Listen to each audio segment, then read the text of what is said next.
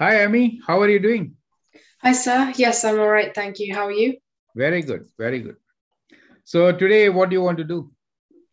I was just hoping to do um, a couple of like just random exam questions from various topics, just to brush up on, you know, the topics. Don't want to forget anything.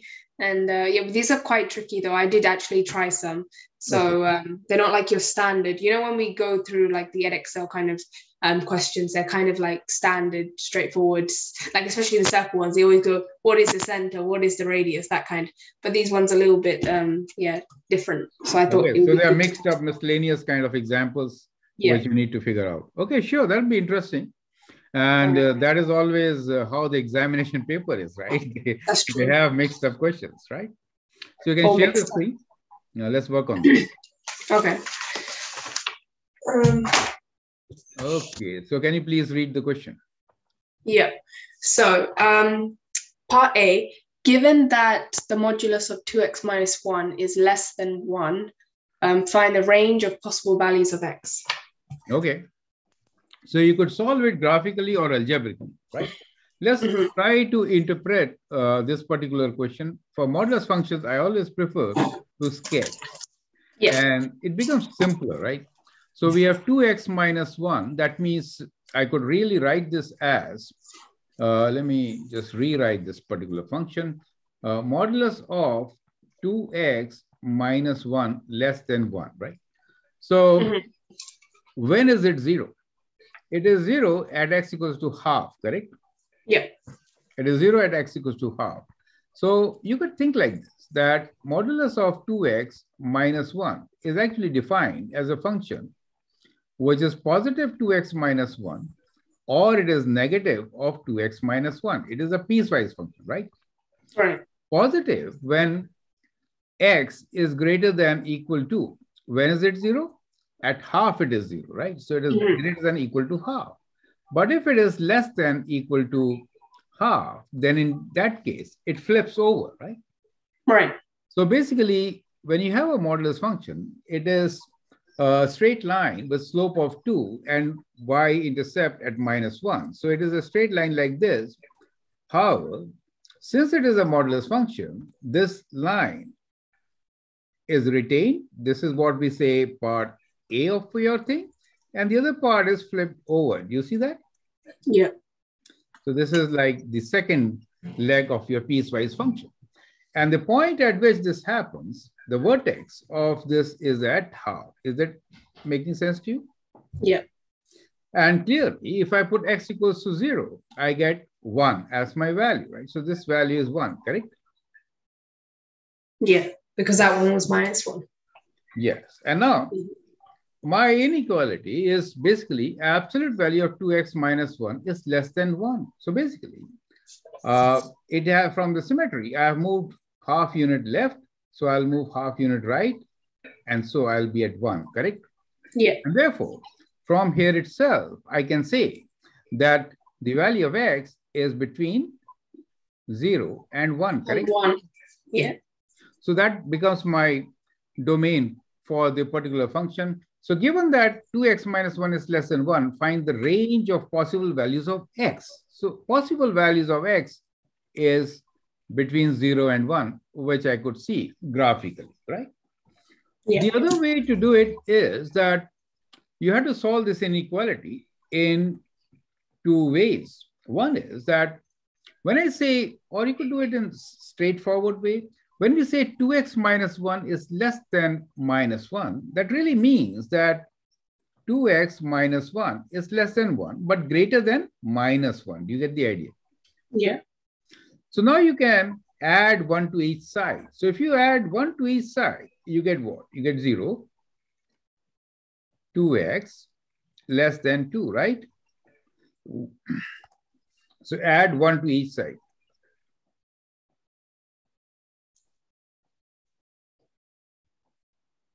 You get the idea, right? So we did Mhm. plus 1 here, we did plus 1 here, and we did plus 1 here.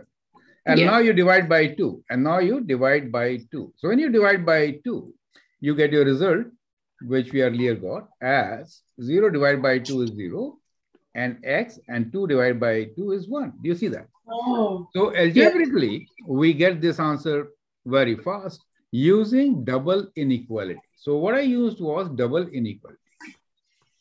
Double inequality.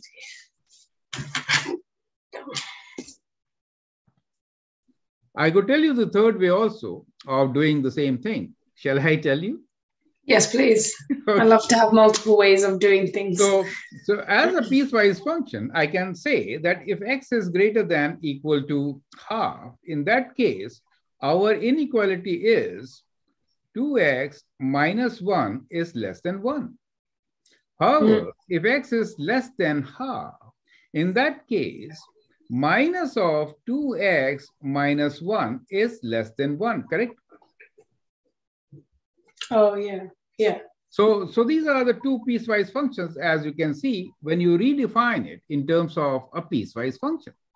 Now, if you oh. solve this portion, you get 2x is less than, taking 1 to the other side is 2, and you say x is less than 2 divided by 2 is 1. However, you are restricted to the interval, which is greater than half, right? Mm -hmm. So if you look at this particular solution here, from half, we were looking at the right side. Is it okay? Mm -hmm. now the solution here is that less than one. So it gives you less than one means everything in between these two. Is it okay? Yeah. So that becomes uh, your solution, but definitely not equal to half because it has to be less than. Is it okay? Yeah. Okay. Now, on the other hand, what is happening here is that if I redraw, if I change the sign, it becomes 2x minus 1. If I multiply by minus, the sign changes. Is that okay? Oh, yeah. So that means 2x is greater than 0 or x is greater than 0. Right? 0. So within this interval, which is, well, I should include half on this side because it is greater than less than. And on this side, we are talking about x greater than 0, right? So it's from 0 to, I mean, I mean, I want to make a open circle here. Undo, undo, undo.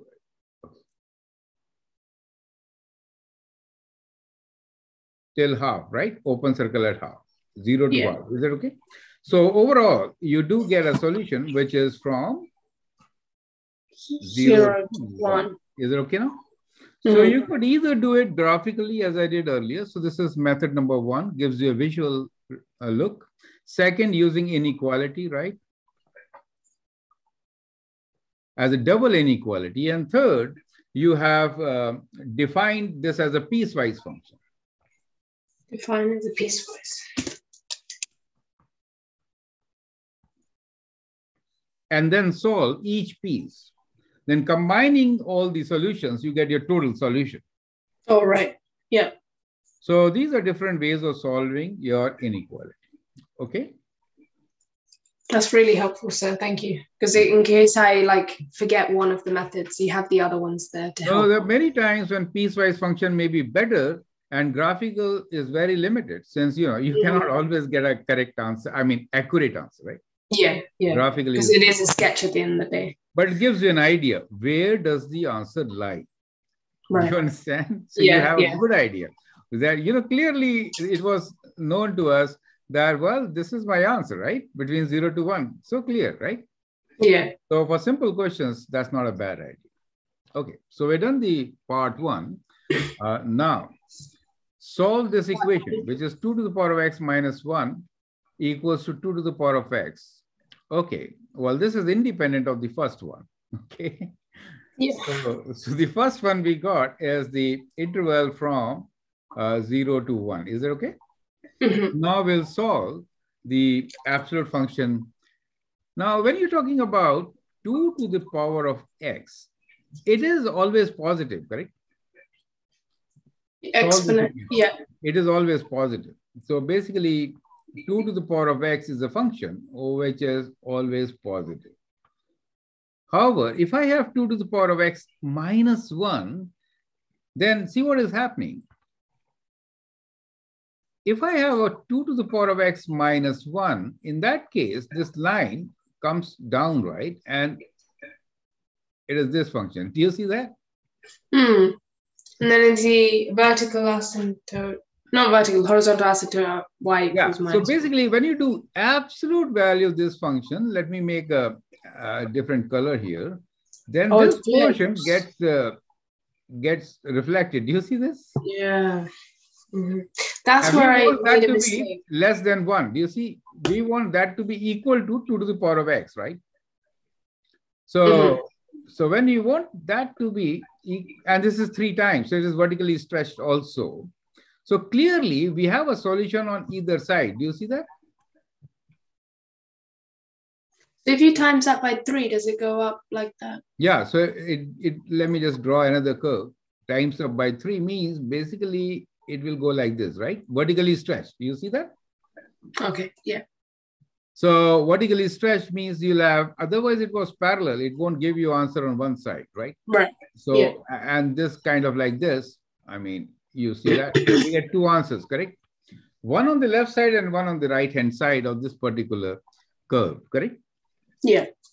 So again, we could have solved this question using absolute function, piecewise function, right? Other thing which is very interesting to see is that if I square everything, correct? If I square everything, then uh, then also I can if have the same answer. Do you see that? If you square everything. Square both sides.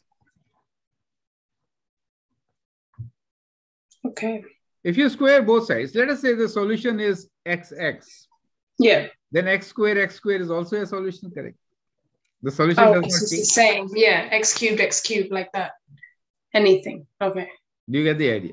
Yeah. So the, the absolute function when I define as a piecewise function, let's say one part is, let's say x, the other part is minus x, correct? hmm If I square it, both becomes x square, right? Oh, yeah. They become the same thing. So in such cases, squaring both sides help. Oh, so, we'll it is not like cubing.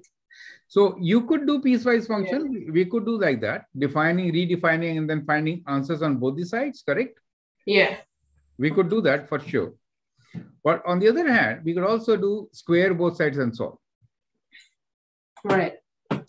So, and we expect two answers, we know from this particular scenario. Is it okay? Right? Yeah. Because Okay. from the graph, From the graph, yes. we can see.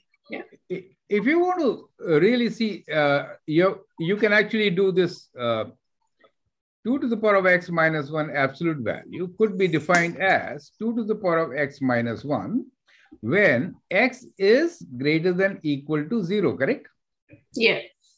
And it is minus of 2 to the power of x minus 1. Let me write plus 1 now. When x is less than 0, correct? hmm You could define this as a piecewise function and then solve. You get the idea? Yeah. Yeah. So I will do the solution both ways and show you how it really works. Okay. So Okay. could you give me more space to work with? Uh, pull this page. Let let me clear this. Yeah. So that, you know, make this smaller so that I get more area to work with. That'd be great. Perfect. Now, so let's uh, redefine our function and we'll say, uh, let me do it here. We'll do two methods, right? So one, we are saying when x is greater than equal to zero and when x is less than zero, right? So there are two pieces, correct? You've seen at zero, it is on either side, it changes the sign, correct? Right. Therefore, the absolute function negative will become positive. So on this side, I could write the equation as minus of 3 times 2 to the power of x minus 1 equals to 2 to the power of x, correct? Because on the left side piece is negative. It gets reflected on the y-axis. On the right-hand side, the equation is 3 times 2 to the power of x minus 1 equals to 2 to the power of x. You get the idea. All right. Yeah. So now you can open the bracket and simplify. So you get minus of 3 times 2 to the power of x plus 3 equals to 2 to the power of x. Bring 2 to the power of x together. So you get 2 to the power of x plus 3 times 2 to the power of x is equal to, let's say 3. And this is 4 2 to the power of x equals to 3. So 2 to the power of x equals to 3 by 4. Is it okay? Mm -hmm. Now yeah. you can take log on both sides. So x log of 2 equals to log of 3 by 4, correct? Oh, yeah. And you get the value of x as log of 3 by 4 over log of 2. Is that okay? Yeah. On the right-hand side, I'll do the same thing. Let me change the ink now. So it becomes 3 times 2 to the power of x minus 3 equals to 2 to the power of x. Mm -hmm. So that gives me 3, 2 to the power of x minus 2 to the power of x equals to 3. So that is 2 to the power of x equals to 3. x log of 2 equals to log of 3, correct? Yeah, and then divide both. And x is equals to log of 3 divided by log of 2. Is that okay? Yeah. So I got both my solutions. Uh, treating this as a piecewise function, which is actually a better approach. Okay. Now I'll also show you what happens when we square it, correct? So, so we now have three absolute value of 2 to the power of x minus 1 equals to 2 to the power of x. So I'm actually squaring both sides. You understand? You're squaring both sides. So here I get 9, right? 3 square is 9, correct? And here I could write 2 to the power of x minus 1 whole square, correct? And this becomes 2 to the power of 2x. Yeah. So this is 9 times a square, which is 2 to the power of 2x, minus 2ab, so 2 times 2 to the power of x, plus 1 equals to 2 to the power of 2x. Is that okay? Now let's bring all the terms together. 9 times 2 to the power of 2x bringing this here minus 2 times 2 to the power of 2x. And then I'll write this 9 times 2 is 18 times 2 to the power of x plus 9 equals to 0. Make sense? Mm -hmm. So 2 to the power of 2x, uh, it becomes 8, 2 to the power of 2x minus 18, 2 to the power of x plus 9 equals to 0. Now that becomes a quadratic equation, right? Oh, yeah. So, so we can like let 2 to the power of 2x equals... Yeah, we can substitute 2 to the power of 2x as, let us say, some p, right? X squared. So we oh. get 8p squared minus 18p plus oh, sorry, I meant equals 2 to, to the power of x is p. Yeah. Yeah, sorry. 2 to the power of, okay, this is p squared and 2 to the power of x is p, right? Oh, okay. Yeah. Correct. So we get 8p squared. So 8 times 9 is 72, right? 72 and you want 18. Can you factor this? Mm hmm 72 and 18. Yeah. So 12 and 6. 8 and 9, right? And this is like 3, 3. This is 4 and 2, right? So you say what? 6, uh, we were minus 18, right? 12 and minus 12 minus 6 minus 12 minus 6 works very good.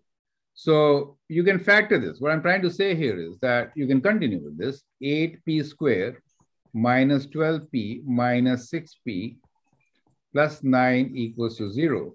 We can take 4p common and you get 2p minus 3. And here we can take 3 common. We get 2p minus 3 equals to 0. So we get 2p minus 3 is common. And here we get 4p minus 3, correct? Equals to 0. Uh, 4p minus 3. And therefore, we get the value of p as equal to 3 over 2, right? And p as equals to 3 over 4, right? Right. And then you sub that back in. So p is like 2 to the power of x. Yeah, you sub it back in and then solve and you'll get your answer. You get the idea. Right. Yeah It's again uh, 2 to the power of x is basically equals to 3 over 2. and 2 to the power of x is equals to 3 over 4. Did we, we got 3 only, right? So what we did wrong here? So 3 into 2 to the power of x minus 3 equals 2 to the power of x. And when I took away this, oh yeah, I did a mistake here. Emmy. Mm-hmm. So 3 minus 2 to the power of x is 2 times 2 to the power of x. Hmm. Good. Do you see that? 3, 3 times 2 to the power of x minus 2 to the power uh, of x, 2 times 2 to the power of x, correct? So oh, because it looks like it's 3 minus 2. Yeah, yeah, yeah. It looks yeah. like 3 minus 2. and I did see. what is it three times? So three by two. The right? wonder that, that's why if you put it in brackets, yeah, it's hard yeah, to yeah. see that. yeah, yeah, yeah. So log of three by two over log. So you see, we get same answers here, correct? Same equation. Yeah. Mm-hmm. Oh, you see that uh, the first portion which I did without squaring uh, is very simple. If you can split it into a piecewise function, you can easily do it. Squaring is much longer. Correct. You get the same uh, answer though. So, I so when I did it, yeah, yeah. Um, I was just wondering, can you do it where you just I took the the you know the three that's outside, I just divided it like by the other side and then followed mm. through by the piecewise way. It doesn't help. It doesn't help because you're introducing one by three, which is very difficult number to work with. one oh, by three right. is very difficult to work with. Yeah, you said avoid fractions at all costs. Yes. At the end, you get it. Now it's okay. I'm just taking log of 3 by 4, right? You get my point. All throughout, I'm working with the integers. Right, right. okay. So yeah, yeah. It is much, much better. I see. Mm-hmm. So I think you could adopt any of these two approaches. Both are good okay. enough to solve such questions. Give your answer to three significant figures. So when you calculate with logarithms, uh, then you write down your answers to three significant figures, okay? Right. So we yeah, have yeah. two answers. One is x is equals to log of 3 by 2 divided by log of 2. The other one is log of 3 by 4 divided by log of 2. Perfect. Yeah. I was just writing down the actual values. So one yeah. was um, 0.585, which was the 3 over 2 one.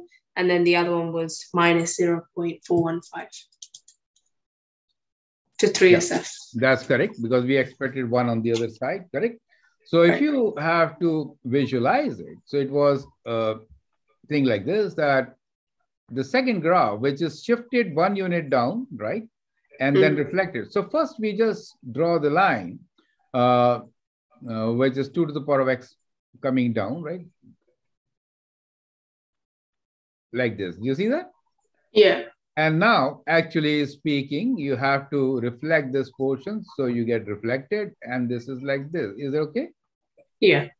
And you want this line to be less than one, less than one. So you have these two points as your answer. You get the idea. Right. That is how you'll get your answer and you can visualize that this is perfectly fine. Oh, right. Yeah, yeah. Okay then. Just clear. Yeah. I think they have answers. We check them. Oh, sure, sure, sure, sure. This is the yeah, yeah, three by two and three by four. Yeah. Mm. Because the same answer. Mm-hmm. Three by four. So they did your method of squaring it. Which one? Oh, yeah. Or they have. I prefer the piecewise one though, but yeah. Yeah, yeah. So, oh yes, this is also good enough because what they did was they did or plus minus 2 to the power of x. Instead of doing that piecewise function negative positive, you could make 2 to the power of x as positive negative. So this is even better. It gives you the same thing, right? You get the idea. Um, but isn't it that thing where is it that thing where you say modulus of um no modulus of something equals like four and then it can also equal minus plus four. and minus four yeah yeah, So but I thought that's, what, I thought that's what's x, inside mod bracket. x equals to four that means x is equals to plus or minus four correct oh okay yeah so yeah so in this case, we're saying mod of 2x minus 1 equals to 2x, to the power of x. So x must equal. Yeah. But my method, when I split into the two portions and tell you that it is from when x is greater than 0, then it is 4. Do you understand? Yeah. But when x is less than 0, then it is minus 4. You understand? Yeah. Now, that helps in solving inequalities and many oh. other Oh. questions. Now, this was just an equation, so it didn't really matter that much. Right, right. So, so you have to be careful. If it is an equation, you could definitely do like this. Yes, I see. Yeah, yeah. That makes sense. that's great. So, can you summarize today's learnings? Yes, I can. So we started off by doing a modulus question um, where we had multiple approaches to it. So I wrote a couple down. So we've got the algebraic method, which was our usual, like kind of straightforward method that we always do. Um, but then I, I didn't know the other two. Actually, I, I didn't know the double inequality. So that one I haven't like ever used, which I should like start using because you did it in like two steps. So that was really quick. Um, and I really like that method. Um, so it made a lot of sense. Um, and then the final method was um, using like as a piecewise function, which is the classic thing you would think about when you think modulus. But um, when we did that, especially for that question, was, I think the best approach was the graphical method because it, Mm. you can Oh, clearly see, yeah, between zero and one. So I think, yeah, but that just depends on your preference and when you're doing right, it in yeah. the exam and the values exactly. Because if they're like like hard values and like fractions and that, you wouldn't do it graphically Correct. but yeah so that was that um, question and then with part b we had the approach with the three outside and there was other like multiple approaches again with the piecewise method Hmm. or squaring it so squaring was longer but we still ended up getting to the Always. answer Squaring Yeah. is longer, but definite answer. You get my point. yeah that's true For equations, definite answer. Mhm. Yes. because you can't go wrong because you're dealing with Right. really good numbers whereas this one it could be fractions and and don't do what i was going to do which was divided by three because again we're dealing with fractions Yeah. Yeah. Um, then we had the circle question, which part C is the one that I kind of uh, got stuck on. It was just simply describing the fact that we want a constant radius because it's a circle, there's a symmetry, and an ellipse, which I didn't know what it meant before, but now I know it's the fact that um, you can have like Major and minor axis- axis. Yeah that that and then it just looks more like an oval basically and Yeah. there's no constant radius so you just need to say that and then the final one was the proof question which we've gone through in multiple videos it's just the fact Yes. that this one it just didn't it, n n was used instead of like two or something so just that extra thought of saying let n either be odd or even so that's where i got stuck but yeah i understand it now so thank you sir. Perfect. Perfect. That's good. So keep sharing these uh, brilliant questions, and I hope many students will uh, benefit from this. definitely thank you so much sir Okay, then. All the best. Have a great all day. bye sir and you bye.